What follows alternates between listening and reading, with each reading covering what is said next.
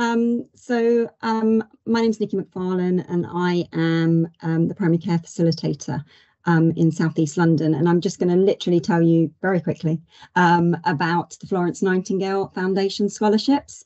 Um, and they're a little bit different, I think, to the other two um, that you've just heard. In that they're they're probably not structured, um, and they're um, they're they're they're around a QI project. So um, you have um, um, a QI project in mind.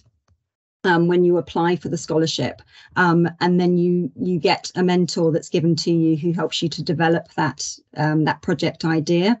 Um, so the scholarships begin each year in, in May. They run for about 18 months. There are several types of scholarships, so do go on the website to have a look. There are leaderships ones, travel scholarships, and um, digital scholarships. They're open to all nurses and midwives who are working um, at equivalent of band seven and above. Um, and yeah like i say they, they revolve around a qi project. Um, and my particular one was um, looking i was the lead nurse at the time for chemotherapy in a hospital in north london. And i was looking at developing um, online training resources um, both for patients and for um, staff. And so part of my scholarship was um, traveling to and part of all the scholarships is that you get the opportunity to um, travel to another well, I went to another country. Um, you can do it in this country, um, but to learn basically from leaders um, in their in a in the an expert in the field. Um, so I went to North Carolina um, in um, to Duke Duke Cancer Centre um, and learned from them and was able to bring back that learning and use that to um, inform my own project. You do have to write up the projects. Um, so they either have to be published as a journal, um, a journal article, or um, as a poster for a conference or an abstract for a conference.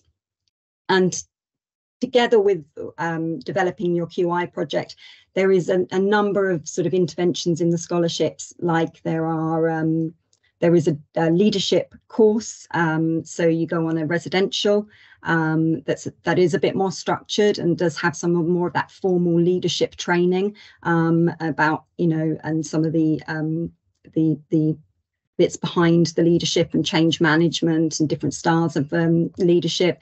You do get the 360, as, as was mentioned before by the others, and Myers Briggs um, evaluate personality um, evaluation. Um, and you um, you also get as you get the chance to travel um, to another centre um, and you get some workshops from the King's Fund and workshops from RADA, which is the Royal Academy for Dramatic Arts, um, just about how to um, how to release your potential, um, how to present yourself, how to um, manage your own impact. Um, so uh, I'll I'll come to a close because I know we, we run out of time. Um, but I think the benefits, just quickly, the benefits for me were really about the peer support um, that it enabled for me and the networking opportunities. Um, I never really, and still probably don't, and I have that imposter syndrome, I think, that was mentioned before.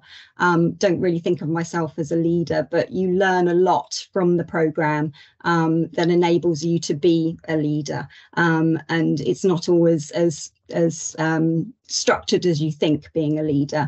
Um, it's about being able to implement changes and um, and uh, and enabling enabling and empowering. I think was one of the things that Joe said as well.